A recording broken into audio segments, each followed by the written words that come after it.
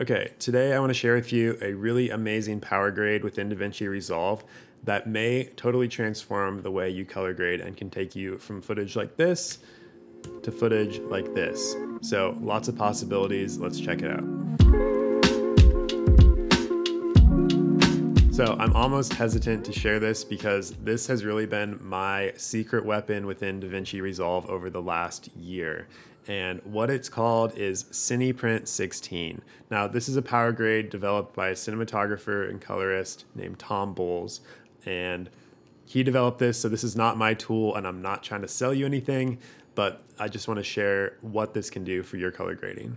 Okay, so to start off, I just want to show you this footage. This is the Rec 709, so this is essentially what we are monitoring on the day.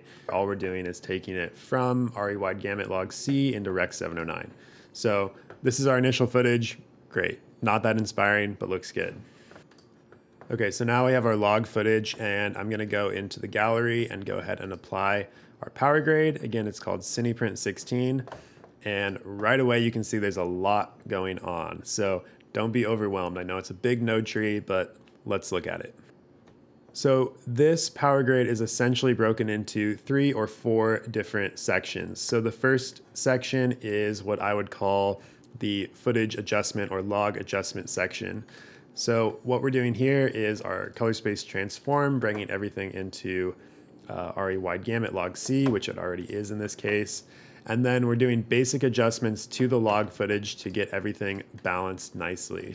So that would essentially be white balance and exposure adjustments just to get everything uh, looking nice to start working with. The next section we'll talk about is at the very bottom here, and this is our output section. So there's essentially two options within CinePrint 16. One is a Cineon output, and then one is a print film LUT output.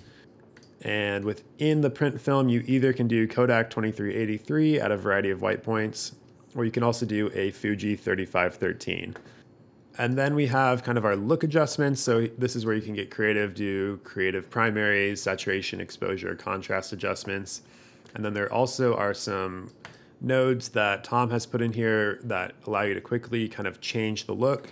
And then lastly, here in the middle, there is space for you to do uh, all sorts of other adjustments like power windows, keying, etc. So again, here from the Rec 709, let me just show you the first look that I developed and then I'll walk you through how we got there. So this is the Cineon look and Cineon is essentially the flat uh, film scan output before a print film LUT.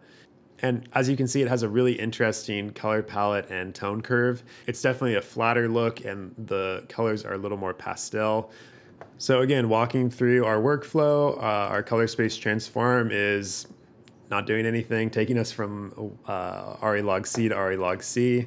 We could essentially shut that off, nothing would change.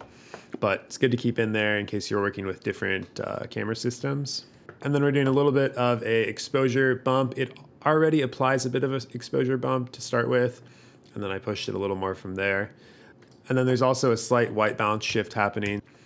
So that's just getting us to a better starting point to go ahead and creatively grade on top of. Jumping to the bottom, you see that we have the Cineon output enabled and the print film output turned off. If I go ahead and switch those, you can see the difference. And then within this uh, third to bottom row, I have the neon suppression matrix turned on and this lab saturation turned on. And since we're going for a more saturated look here, I've enabled those. I could also play around with some of these nodes if I want. You know, it's fun to just toggle them on and off, maybe toggle both at the same time. But for this, I'll go ahead and leave them off. I've also enabled this highlight soft node, which you can see is just rolling off the highlights nicely. I pretty much have that on all the time. And then I just have two power windows. One is kind of pulling the edge of the car down and drawing our attention to the middle. And then one is just bumping his face a tiny bit. And then lastly, we have this halation node on. And if you go ahead and open the compound node, you can see, again, there's a lot going on here, but you really only have to understand a few things to get the look you want. So that's it. You can even add a film border, fun things like that. You could add dust, you could add gate weave, which will give it a little bit of shake. Um, there's a lot that you can accomplish within this power grade very, very quickly. This grade took me less than five minutes to go from log or Rec 709 into this look. So again, really powerful tool to quickly develop different looks. And speaking of that, let's go ahead and show you the next look. So the next look is a Kodak 2383 print film look.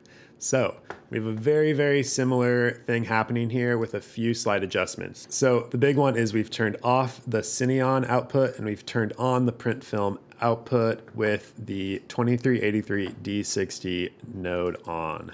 This has a very different tone curve and saturation profile than Cineon, so it's just up to you and your preference, but this to me is more of just kind of that classic film look. So I've also enabled the vintage node here, which uh, mutes some of the colors a little bit. And I think if you're going for maybe a grittier look, that kind of works nicely. And he recommends using that in combination with this neon suppression matrix. So those two together are really changing the saturation profile quite a bit. I've also changed the halation from a red colored halation to just white halation. And then I've also enabled this endpoint node here at the end and it's just kind of creating a little bit more contrast right at the end, which sometimes helps the image pop just a little bit more. So again, only maybe four or five nodes different, and you can see that it's a really, really different look. Both have their strengths, but that's the beauty of this power grade. Again, it's just so fast, and that's really, really important.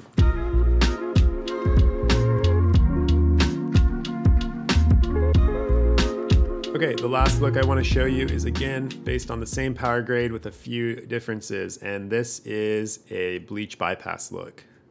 So as you can see, I have the 2383 print film look on, essentially the same exact uh, overall node structure as our previous 2383 grade. And then the only difference is I added these two nodes with a layer mixer. So you may be familiar with this technique, but if not, essentially what we're doing is creating a layer node with a layer mixer set to soft light. And then in our top node, we've gone into the RGB mixer and enabled monochrome. So that's creating a black and white image layered on top of a color image below it. And then those two outputs are fed into the layer mixer where they're combined using the soft light blending mode. So within our monochrome mode, we can go ahead and change our green output, our red output, and our blue output, and that'll change the luminance values of each of those channels and give you a different look. So it's a pretty cool way to dial in um, kind of a unique look. And then I've also dropped our key output to 0.5 because when you have it all the way up at one, it's a little intense. You lose out on most of the saturation. So I just kind of walked that down and thought it felt good right at 0.5. If I take that back to zero, you can see this is essentially the same grade that we were at before.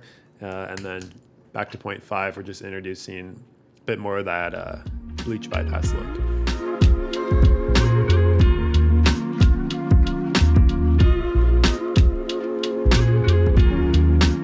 So there you go. These are our four looks, our Rec 709, our Cineon, our 2383, and our Bleach Bypass. So I was able to create each of these looks in under five minutes. I mean, once you apply the grade and dial in your color space transform, it's smooth sailing from there and it really gives you a lot of flexibility to be as creative and unique with the look as you want. There's a lot we did not even dive into with this power grade. So I would encourage you to go to Tom's website. He has a ton of examples and a lot more information about the power grade. And if you like what you see, buy it. I think it'll revolutionize your color grading workflow. And again, I hope you enjoy it. This is my secret weapon of DaVinci Resolve, and I would encourage you to try it for yourself and see what you think. So, thanks to Tom, he's doing amazing work, and thank you for watching, and we'll see you next time.